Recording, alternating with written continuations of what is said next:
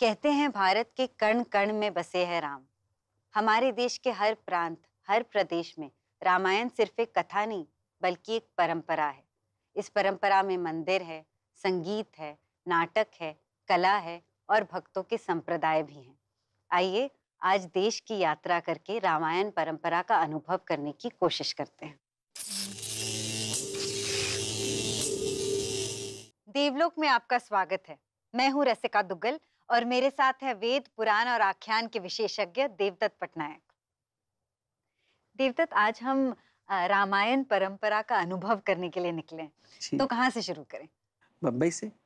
तो बम्बई में रामायण की परंपरा है?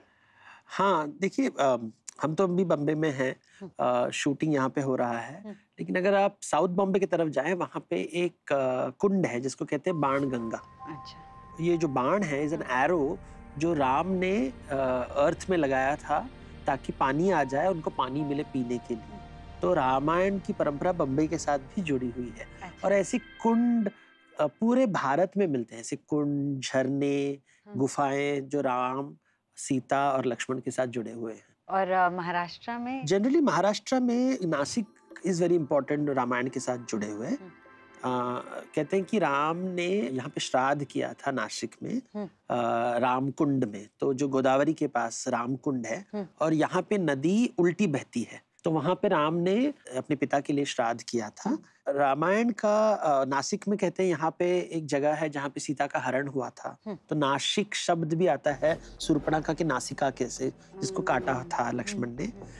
महाराष्ट्र में भावार्थ रामायण लिखी गई थी मराठी में। एक नाथ जी ने लिखा था। उसी समय रफली वही टाइम जब तुलसीदास जी ने लिखा था। अच्छा। और इस भावार्थ रामायण में भक्ति की भावना से राम को प्रस्तुत किया जाता है। अच्छा। नायक के हिसाब से नहीं जो वाल्मीकि रामायण में हम देखते हैं एक वीर रस होता है। हम्म, हम्म, हम्म। यहाँ पे भक्ति रस ज़्यादा है।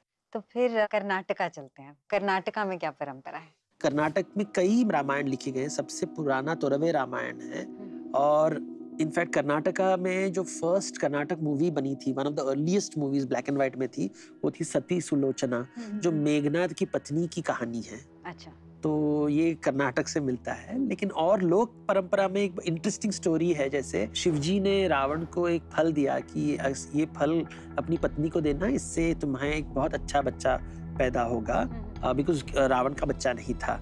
लेकिन रावण इज़ नॉट श्योर वो अपनी पत्नी को देना चाहता है वो खुद उसको खा लेता है उसके बाद ही बिकम्स प्रेग्नेंट तो ये लोक परंपरा में बहुत ही ऐसे फनी स्टोरीज आएँगे रावण को बहुत तकलीफ़ होती है और वो छींकता है हम्म। और जब वो छींकता है छींकने से एक लड़की निकलती है हम्म। और ऋषि कहते हैं कि ये तुम्हें मार डालेगी हम्म। और इस बच्चे को वो पानी में डाल देते हैं और कहते हैं यही बच्ची सीता बन के वापस आती है अच्छा। तो ऐसी बिल्कुल लोक जिसको राम कथा कहते हैं देखिए रामायण तो संस्कृत काव्य है लेकिन राम कथा लोक परंपरा को कहते हैं अच्छा। जहाँ पे लोकल स्टोरीज बनते हैं अच्छा तो रामायण परंपरा को में राम कथा होगी हाँ। राम मंदिर होंगे अच्छा। राम लीला होगी अच्छा। नाटक होंगे पेंटिंग्स होंगे मूर्ति होंगे ये सब राम परंपरा को बनाती है। और सबकी अपनी अपनी कहानी हो सकती सब है। सबकी अपनी वेरिएशन होगी मेन स्टोरी कभी शिफ्ट नहीं होता है। राम हमेशा सेंट्रल कैरेक्टर रहेंगे अच्छा। रावण विलन रहेगा। अच्छा। लेकिन थोड़ी थोड़ी वेरिएशन आ जाएँगे जिससे एक रस निकलता है।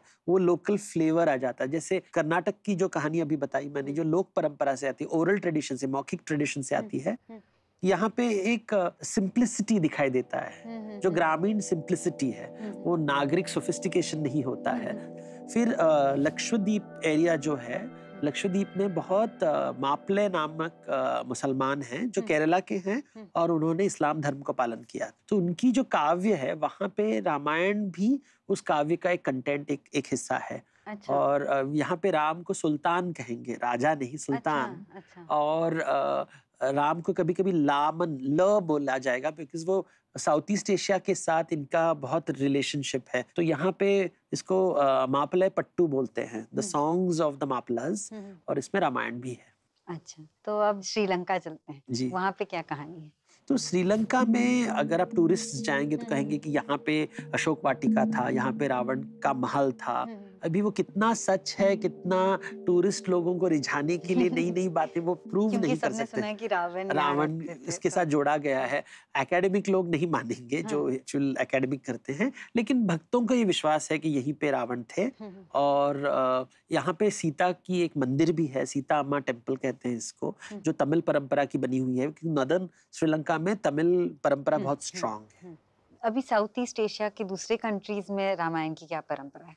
थाईलैंड में रामायण की बहुत बड़ी परंपरा इनफैक्ट पूरी साउथ ईस्ट एशिया में Malaysia Indonesia Bali Sumatra Java जो आइलैंड्स है बर्मा कंबोडिया लाओ सब जगह में रामायण फैली थी हज़ार साल पहले अगेन सी मर्चेंट्स के थ्रू से। तो थाईलैंड में अभी भी जो राजा है वो राम से उनका आइडेंटिटी जोड़ते हैं। जो पहले राजा था ये करंट वंश के अठारहवीं शताब्दी में वो अपने आप को राम बुलाते थे। हम्म। Rama one Rama two Rama three hmm. और उनकी जो पुरानी कैपिटल सिटी थी उसको अयोध्या बोलते थे मतलब अयोध्या। तो थाईलैंड में जाएँगे तो बोलेंगे कि राम तो थाईलैंड के हैं हम्म, बाद में भारत आए। तो उनके विश्वास से रामायण वहाँ पे है। लेकिन यहाँ पे रामायण और बुद्धिस्ट परंपरा मिक्स हो जाती है क्योंकि जो रामा राजा है उन्होंने एमरल्ड बुद्धा को अपने इष्ट देवता मानते हैं। लेकिन वहाँ पे चारों तरह काव्य है रामकियन। रामकियन जो राजा ने खुद लिखी थी रामायण की कहानी। और ये जो साउथ ईस्ट एशिया की जो स्टोरीज है यहाँ पे रामायण बहुत दिखाई देता है यहाँ लेकिन भक्ति रस नहीं दिखाई देगा वीर रस दिखाई देगा। तो तमिलनाडु में क्या परंपरा है? तो तमिलनाडु का इम्पोर्टेंस आता है क्योंकि जो लोक भाषा में रामायण पहली बार हम्म। तमिलनाडु में लिखी गई थी। अच्छा। तो इसको ई राम अवतारम कम्ब की रामायण हज़ार हम्म। साल पहले लिखी गई थी अच्छा। और कहते हैं कि नॉर्थ से साउथ इंडिया बुद्धिस्ट परंपरा जैन परंपरा आई हम्म। और भक्ति परंपरा साउथ से नॉर्थ गई है भक्ति परंपरा हज़ार साल पुरानी है हम्म। और ये रामायण के साथ बहुत जुड़ी है क्योंकि लोक भाषा में रामायण इस समय लिखी गई और पहली वाली है वो है तमिल की ई राम अवतारम और यहाँ पे राम को विष्णु का अवतार माना जा रहा है अच्छा। पहले बार भगवान से जोड़ा गया है कि एक स्टोरी है कि रावण युद्ध से डर जाता है राम से युद्ध करते समय लेकिन he wants to go back to Lanka लेकिन वापस नहीं जा सकता है अपने किले के अंदर हम्म। क्योंकि उसके हाथ में धनुष है जब तक वो धनुष नहीं छोड़ता है हम्म। तब तक वो पीछे नहीं जा सकता है मतलब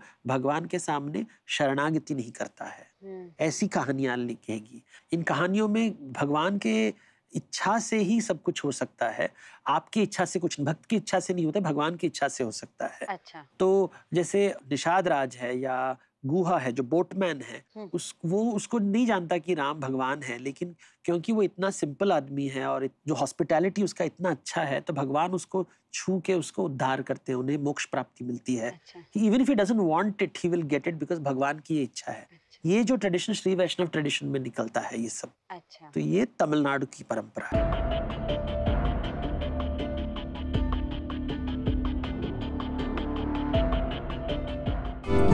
जब चाहो ऑन हो जाओ एपिक ऑन चलाओ। Download the Epic On app